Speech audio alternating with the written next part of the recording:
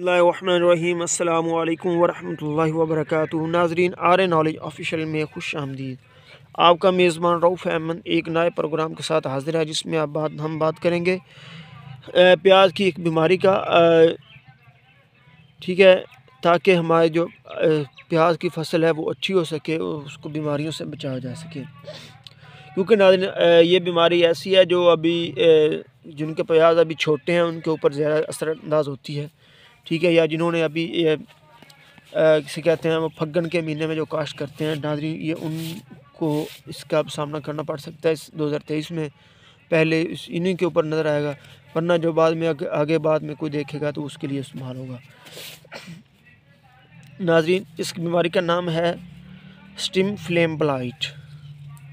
नाजरीन stemphylium blight जो है जब नाजरीन फ़सल हमारी तीन से चार पत्तों की होती है नाजरीन ये देखें आपको ये पत्ते नज़र आ रहे हैं इसके ज़्यादा हैं और इसके ये तीन पत्ते हैं एक दो तीन चार ठीक है?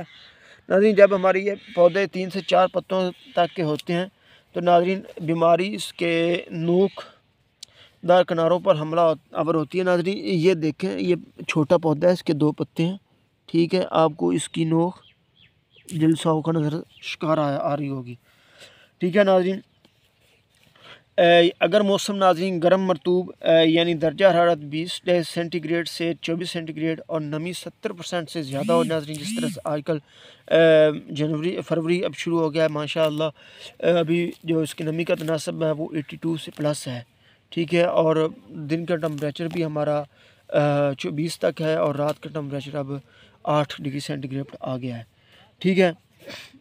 तो ऐसी सूरत में नाजी किनारों से नीचे की तरफ़ और पत्तों के ऊपर वाली सतह पर नाजरीन जो है, ये फैलती हुई नज़र आती है आपको। शुरू शुरू में हल्के जर्दी नाजरीन शुरू शुरू में जो जहर होती है, ये हल्के जर्दी, ठीक है? ये देखें आपको, हल्के जर्दी। और नाजरीन, जब हम ये बीमारी शिद्दत इख्तियार कर जाती है, ठीक है? तो नाजरीन, उस वक्त ये गहरे भूरे धब्बे में पाई जाती है, यानी गहरे भूरे डब्बों में सूरज में पाई जाती है। ठीक है, मैं आपको दिखाता हूँ।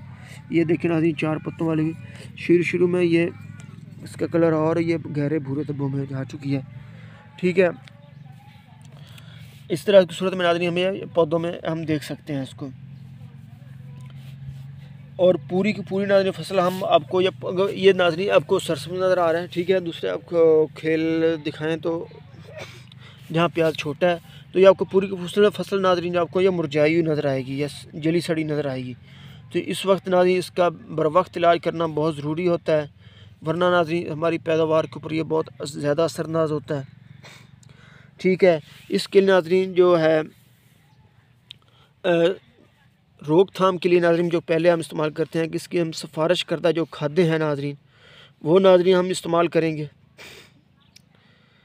यह जो पीछे हमने प्रोग्राम में आपको बता चुका हूँ या आगे इन प्रोग्राम आएगा।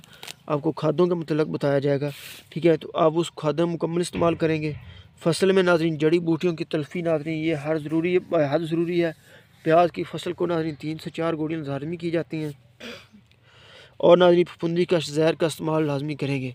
यानी फफूंदी का जहर के लिए ना, जो हम स्प्रे करेंगे, उसमें वो मैं आपको बताऊँ, वो है oxystrobin plus difenoconazole 250 M L फ़ी एकड़ और ऑक्सीस्ट्रोबन प्लस क्लोरो थिलोनल नाजरी ये 500 सौ एम एल फ़ी लीटर फ़ी एकड़ आप इस्तेमाल करेंगे तो इन ताला आपकी फ़सल में कोई भी किसी भी किस्म की प्याज की कोई बीमारी आपको नज़र नहीं आएगी।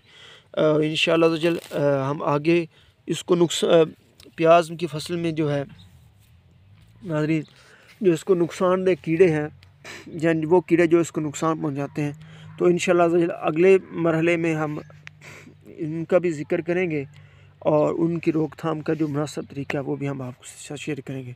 इसके साथ हमारा प्रोग्राम ताम को पहुँचा, अपनी दुआ में रखेगा पाकिस्तान जिंदाबाद।